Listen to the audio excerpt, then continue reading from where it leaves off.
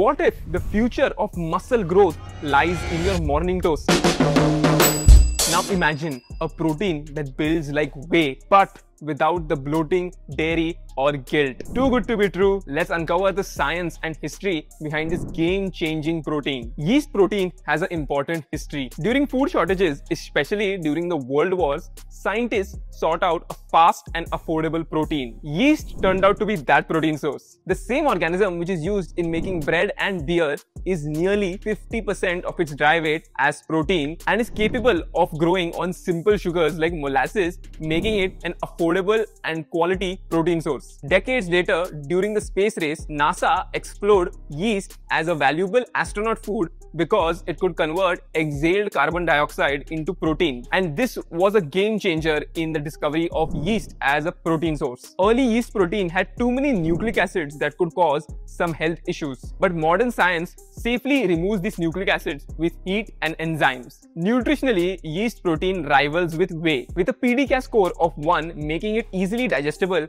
it contains all the essential 9 amino acids and delivers branch chain amino acids like leucine, isoleucine, and valine for muscle growth and recovery. Unlike plant protein, it is smooth, not chalky, and completely free from dairy, gluten, and soy. Here is a comparison between yeast protein and whey. In terms of protein quality, both have PDCAAS score of 1, making it easily digestible and delivering on all the 9 essential amino acids. Digestibility, this one is slightly gentle on the stomach.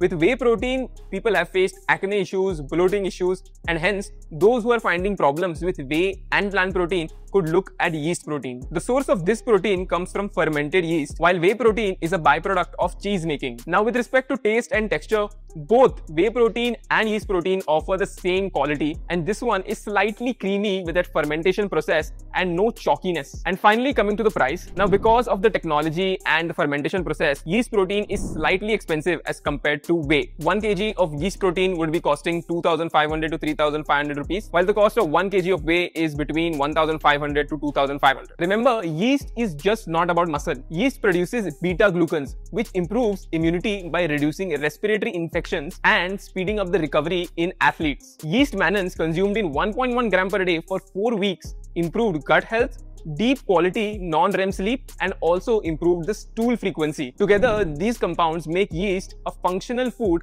rather than just a protein source. Yeast protein is great for vegans, vegetarians, the lactose intolerant, or anyone looking for a sustainable and complete protein source. Producing whey protein requires 5000 to 6000 liters of water for every kilogram factoring for the cows, feeding and processing. Yeast protein on the other hand requires only 100 to 300 liters of water. Now none of that information is actually useful unless I try the fermented yeast protein and give you real-time feedback.